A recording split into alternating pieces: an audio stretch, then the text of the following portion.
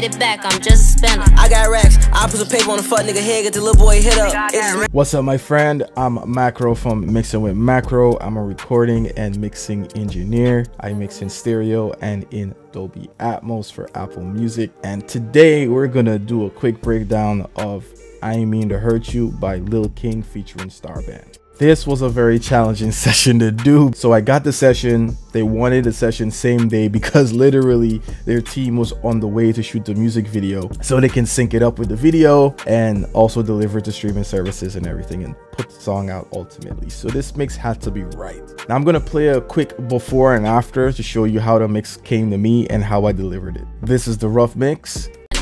Bag, I lost it, then I made it back, I'm just.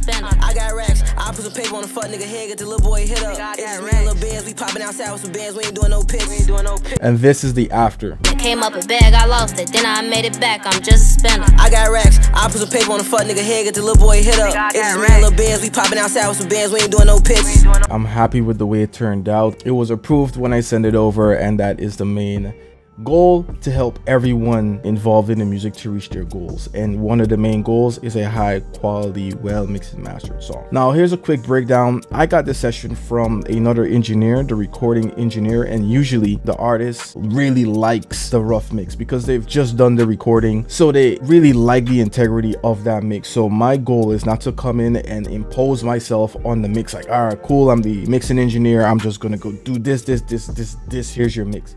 It's more of finding out what the goal is of the artist, what the goal is of the artist's team, and then match my expertise to help them reach their goals. With this record, it's not to do all the thrills of beat drops and crazy vocal effects and all that. The goal is to make this sound like a finished product. So as the record came over, it already came with the recording engineer's vocal chain. So I just knew immediately some of the things that I needed to do on my end to make sure that it goes to the next level. Now you heard the before and after. And if you watch my channel, you subscribe to me, or if you have seen other of my videos, you would know that this is not my traditional vocal chain. But in this vocal chain, they started with the de-esser and then they went straight into a lot of high-end processing. So if you look here, you see they got the C6, C4, the SSL channel strip, and then some compression. Then I have more EQs. And then I added some of my plugins in here and ultimately finished with a vitamin. Now with this, I tweak certain settings to make sure that it's hitting the way it's supposed to hit and not giving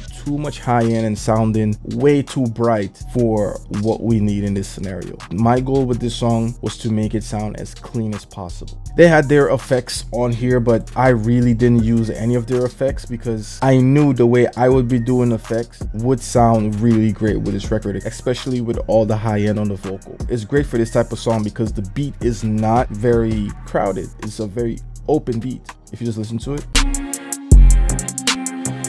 A lot of space for the vocal to sit. It came up a bag, I lost it, then I made it back, I'm just a spender. So yeah, send it over. It was approved. Deadlines mad. They shot their video is out now. It's in the description if you want to go watch the video or if you want to just go stream it on your favorite streaming platform. It's there for you to check it out as well. Let's get it. I'll see you in the next video.